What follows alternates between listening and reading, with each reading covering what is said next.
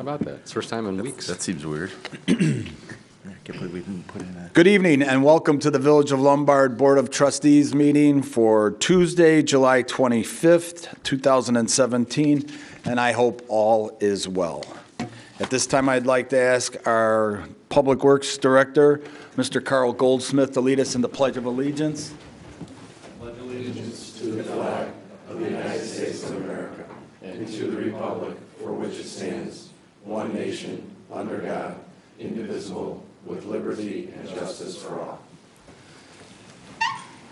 Sharon, could we have a roll call, please? President Giagnorio. Here. Trustee Whittington. Here. Trustee Fugiel. Here. Trustee Foltyniewicz. Here. Trustee Johnston. Here. Trustee Pike. Here. Trustee Ware. Here. Uh, Was there anybody in the audience who would like to speak before the board? I don't have any uh, sign-up sheets. Okay. And we have, so no public participation. Items for separate action. Before I have Sharon read that, I will toss it over to Scott for a PowerPoint presentation. Okay, bear with me a minute while the screen comes down. The new PowerPoint presentation.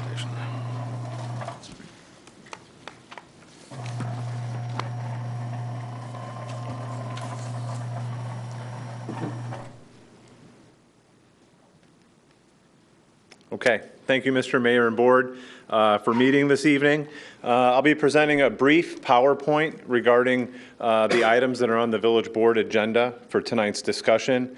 While I certainly know that all the members of the board are well-versed in the points to be presented, we do respect the fact that we have citizens at home that might watch this, and ultimately citizens that might pull this up on our website and view it at home as well. So I'll be going through the PowerPoint, understanding that the citizens of Lombard are the ultimate audience for it. Certainly, if there's a question or a point that you want me to give further explanation to or uh, hone in on, don't hesitate. Uh, I will also say that in the name of transparency and open communication, um, this information will be provided tomorrow via our village website and social media outlets. Understanding the debt restructuring of the Lombard Public Facilities Corporation. In order to better understand this, it would be good to have some historical content. Uh, The property, uh, the LPFC-owned property, uh, dates back to 2003, when state legislation was passed that created the Lombard Public Facilities Corporation. For most people, a common comparison might be McPier, uh, which operates and owns Navy Pier and the McCormick uh, Exposition Center. The LPFC is a separate entity that has the power to issue debt and the sole purpose of operating a hotel and convention center. In 2005, the LPFC issued bonds in the amount of approximately $180 million to build the facility. In 2007, the hotel opened within the corporate limits of the village of Lombard. Uh, 2008, 2009, uh, the economy took a severe downturn. Distressed properties in terms of hotel and hospitality uh, were the norm. This property was not immune to that. And today, uh, while it's an operating facility, uh, it cannot cover its annual debt payments, which brings us to the discussion of the restructuring and support agreement. Common question around town uh, that I've been getting, at least in the three and a half years since I've worked here, is whether or not the village owns and operates the hotel and conference center. The simple answer to that is no. The village exists to provide core services to our citizens, police, public works, and fire. Um, I did not go to school for hospitality management, nor did our police chief or fire chief or public works director. The LPFC is the entity that owns and operates the building. So what's happening now? Why is the village board taking action this evening? Um, The village is going to be one of the last parties to enter into the restructuring support agreement pending the village board's vote tonight. After that, it's our understanding that the Public Facilities Corporation will be filing a Chapter 11 restructuring towards the end of this week. Today, 70% of the bondholders, and when I say bondholders, I mean total dollars of the debt, have signed on to the restructuring support agreement, indicating that they are in support of the restructuring plan. 30% are still on the outside looking in. Will the LPFC's filing for Chapter 11 affect the village's finances? No. This is a common question. We'll also cover it on some future slides. The LPFC, again, is a separate entity.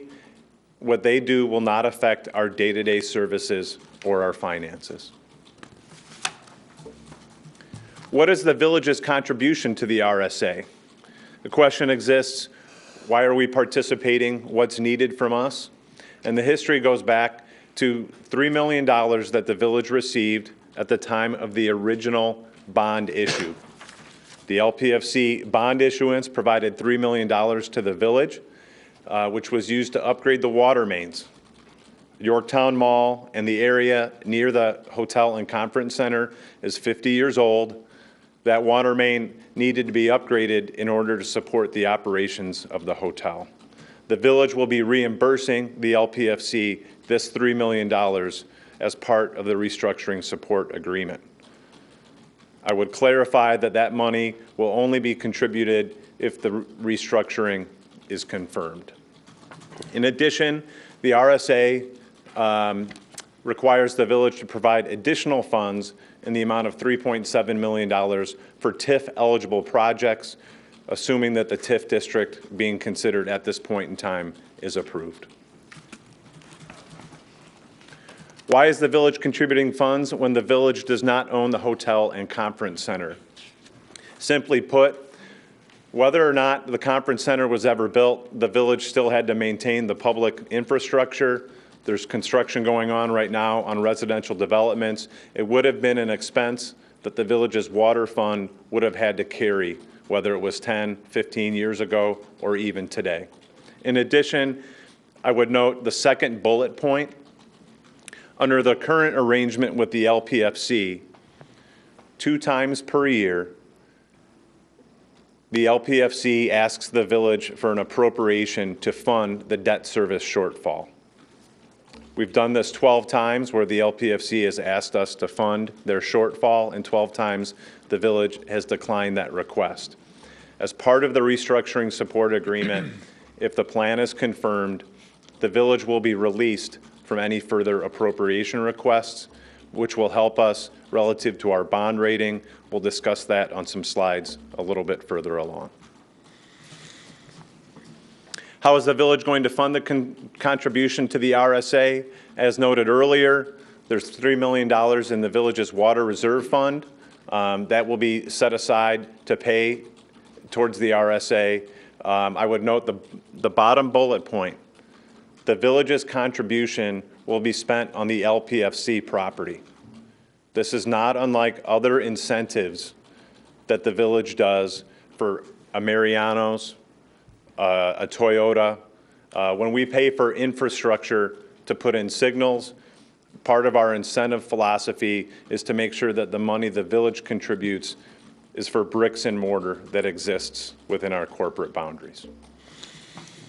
This money will not go to pay bondholders. Will this RSA have an impact on taxes or fees? No. It won't have any impact on property tax, sales tax, places for eating tax. No tax increases as a result of this action. Will the village reduce service levels or eliminate employees to participate in this agreement? No. This is a common question I get from village employees trying to understand this property. The village will still have structural budget challenges based upon the state of Illinois and the costs that we have to bear day in, day out that trustee Foltyniewicz and the finance committee is well aware of, has been working closely with the board. Those challenges will exist regardless. Participation in this agreement will not exacerbate that or bring things to a head any sooner. What would happen if the village didn't agree to the RSA? Simply put, there would be an unknown and uncertain future of the hotel and conference center, we would annually, I'm sorry, semi-annually have the appropriation request, and the village's bond rating at the low level of B would likely continue. Part of our bond rating is based upon the fact that we're asked twice a year to appropriate funds.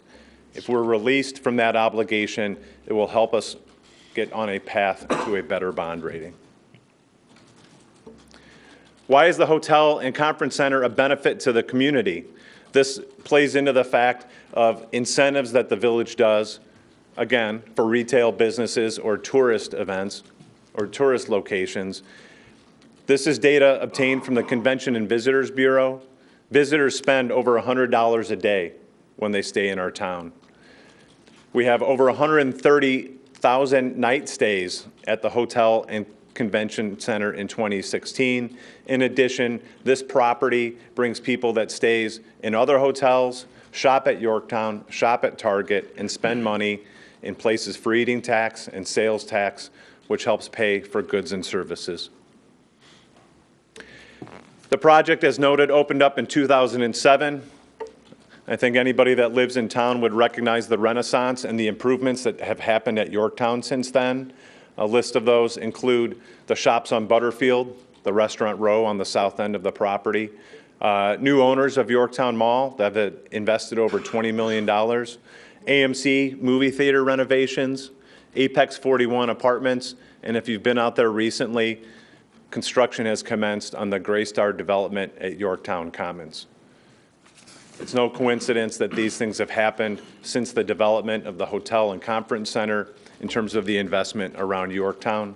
The village has a vested interest in making sure that Yorktown remains healthy. A map provided showing some of those improvements. How is the RSA in line with the village's assistance with other local businesses? The ECDC has a very sophisticated and thought-out incentive policy that helps us attract businesses.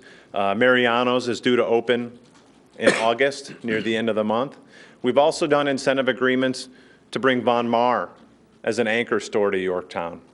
Um, We've done an incentive agreement to keep Lombard Toyota in town. Sam's Club, which is due to schedule to commence construction later this year. The incentives for Sam's Club, Mariano's, and Von Maur are all in the three to four million dollar range, which is on par with the $3 million contribution under the RSA. What does the village intend to accomplish by participating in this process? The village wants to provide the assistance that it can to ensure that there's a continued operation of a first-class hotel and conference facility within our corporate limits. In addition, we hope to gain a credible roadmap towards improving our bond rating. We believe that participating in this agreement will help us to do that. So what happens next? As noted earlier, the LPFC intends on filing for Chapter 11 restructuring later this week. Uh, That is still a process. There are no guarantees at the back end of that process. There's other parties involved uh, that will have a say in this process. Any questions regarding that process should be directed to the LPFC, as they are the ones that are filing bankruptcy. And with that, questions, comments, um, any other points of note? Reid? Uh, Scott, uh, will this be all available on our website? Excellent question, trustee Foltyniewicz. Um, So house cleaning items, that's a a perfect lead-in. Tomorrow morning, this information will be placed on the village's website. The PowerPoint, uh, a frequently asked questions sheet. Um, It will also go out on social media. Uh, Our intent is to bring people to the village's website so they can get into to detail on it.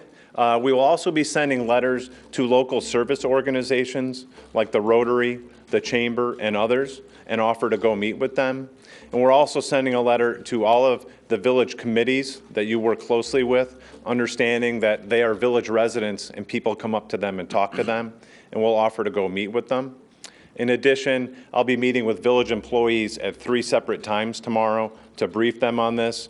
understanding that if you work for police, public works, fire, or the village, people are bound to ask them. We believe our employees are ambassadors of the community, and we want to equip them to answer questions. Perfect, thank you. Anybody else have any questions? Okay, thank you, Scott. Okay, uh, Sharon, why don't we go ahead and read uh, 170309? Restructuring Support Agreement. A resolution approving a restructuring support agreement by and among the Village of Lombard, the Lombard Public Facilities Corporation, ACA Financial Guarantee Corporation, Nuveen Asset Management, LLC, and Oppenheimer Rochester High Yield Municipal Revenue Bonds issued by the Lombard Public Facilities Corporation, and authorizing the village manager to sign said restructuring support agreement on behalf of the village, and to execute any and all documents on behalf of the village in furtherance of said restructuring support agreement and the terms thereof. Okay, and just uh, for the board, I will give you an opportunity after we, or if you want to do it in between the two, if you have any comments at all that you would like to make. But uh, that being said, I'm looking for a motion on this. We have a first by trustee Ware, second by trustee Whittington. Sharon, on a roll call, please. Trustee Ware? Aye. Trustee Trustee Whittington? Aye. Trustee Fugiel? Aye. Trustee Foltyniewicz? Aye. Trustee Johnston? Aye. Trustee Pike? Aye. Okay. 170310, Sharon? Budget Ordinance Amendment, an ordinance amending the village's fiscal year 2017 budget ordinance to provide for an appropriation and budgeted line item relative to the village effective date contribution of $3 million, a return of the $3 million provided to the village by the Lombard Public Facilities Corporation, the LPFC, from the original bond issuance by the LPFC for the Conference Center and Hotel, for village water main and water system improvements, as provided for in Section 3 of the Plan Term Sheet attached as Exhibit A to the Restructuring Support Agreement relative to the Conference Center and Hotel owned by the LPFC, approved by the Village Board on July 25, 2017, subject to the effective date as such term is defined in Section 2 DD of the aforementioned restructuring support agreement occurring during the village's 2017 fiscal year. Thank you, Sharon. Um, I'm looking for a motion. We have With the waiver of first reading. Okay. So we're looking for a motion with the waiver of first. We have a first by trustee Foltyniewicz, second by trustee Fugiel. Uh, Sharon, on a roll call, please. Trustee Foltyniewicz? Aye. Trustee Johnston? Aye. Trustee Pike? Aye. Trustee Ware? Aye. President Giagnorio? Aye. Trustee Whittington? Aye. Trustee Fugiel? Aye. Okay. um, At this time, I would ask if anyone on the board has a comment. I'll start over here. Bill, Bill, Mike, Sharon, I'm good. over here. Dan, Reid? Sure. Be very brief. Um, I'd like to thank staff, the board, the community for their assistance. Uh, We didn't always, you know, ask for these challenges, but I'm glad that we were part of the process and part of the uh, resolution, so thank you. Thank you. Robyn? No. Uh, I just have a real brief comment. Uh, This has been a long time coming. I can't imagine if we, maybe we do keep track of how many staff hours, board hours, board meetings. I know our attorney does keep track of his hours, obviously. Put the food on the table, Tom. But um, I just want to thank the entire staff for all their hard work in getting to this point for now. I want to thank the board for being, uh, being there and putting in their due diligence and, and trying to come up with a, uh, a solution. And, you know, it's, from tonight on, we move forward, and that's the best we can do. So, thank you. Other than that, I will look for a motion to adjourn. I have a first by trustee Whittington, a second by trustee Foltyniewicz. And Madam Clerk, with a roll call, please. Trustee Whittington? Aye. Trustee Fugiel? Aye. Trustee Foltyniewicz? Aye. Trustee Johnston? Aye. Trustee Pike? Aye. Trustee Ware? Aye. Thank you, everyone, and good night. Aye.